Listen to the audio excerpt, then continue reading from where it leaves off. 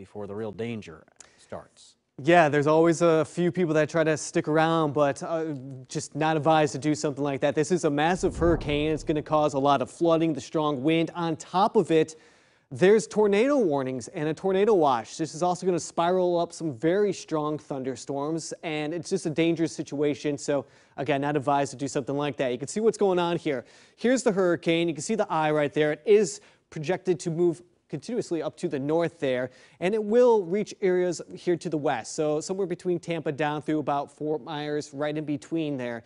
Very strong bands. This is a lot of moisture coming on through the wind, the storm surge, just the combination of all it is very dangerous. Let's take a look at what goes on here. It does reach to about a category four hurricane. That's the projection there. That's going to be a very, very strong wind. I'll step out of the way so you can see everything at least greater than 130 miles per hour.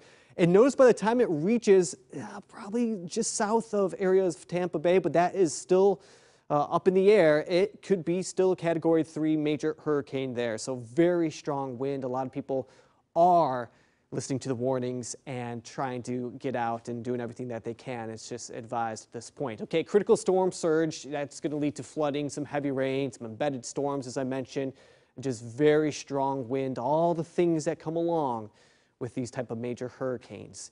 Up here in the Pacific Northwest, different type of weather for sure. It is a really nice day. It's still feeling like summer. I mentioned that earlier. Temperatures today warming up to about 80 degrees, which is above average. We should actually be down in the lower 70s at this point. I put uh, the visible satellite on here uh, so you can make it clear of all the clouds there coming out of the coast. And so you can see how that marine layer is kind of there for the Oregon coast. Here's a development that's going to arrive for us as we go into the overnight into tomorrow morning. So the key message, although it's a nice blue sky behind me, is get the rain jackets ready. This is actually going to be probably our wettest 24 to 48 hours that we've had so far this month. I know it's not saying much, uh, but it's going to be enough to get the ground wet, kind of slow things down, and you'll probably just want a rain jacket at least at some moment tomorrow if you are going to be outdoors at all. Okay, so here's uh, the timing of all that. Here comes the front. It arrives to the Oregon coast overnight, yeah, 2 a.m., 3 a.m.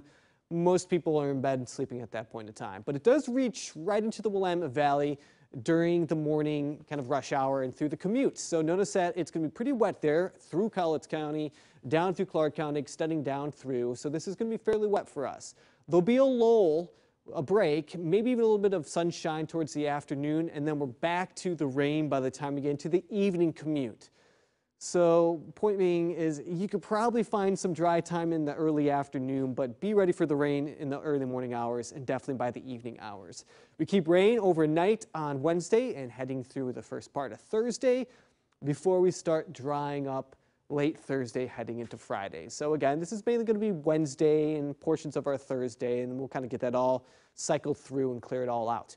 Okay, so forecast rain totals, let's take a look. I think we're going to be somewhere between a quarter of an inch to a half an inch for the Oregon coast, right around a quarter of an inch right around areas of the Willamette Valley. So uh, that is going to be five times more than what we have right now as our rain total. So that's going to be a decent dose for us. Um, it's been some time since we've had about a quarter of an inch. That was back in June. We also had a really big soaker on, on June 10th where we had over an inch of rain, but uh, you really have to go back to dig for some of those soaking days. Notice this month, all we've had was just a little drop there on the 12th, then splash there on the 17th, and that was about it. Okay, let me show you what's coming up uh, outside of all of the rain that's going to arrive here Wednesday and the cooler air on Thursday. Dan, we have some really nice weather heading into the weekend. So Friday, Saturday, and Sunday have temperatures back into the upper 70s to the 80s. So this is just kind of like a tease mm -hmm. of what it mm-hmm. should feel like. Um, and then we're just kind of back to that kind of summer type weather. Psychologically, we're just going to have to embrace it and go, okay, this is just a temporary thing and ease us into the fall. Ease us in. That's a good point, yeah. Thank you, sir. We'll be right back.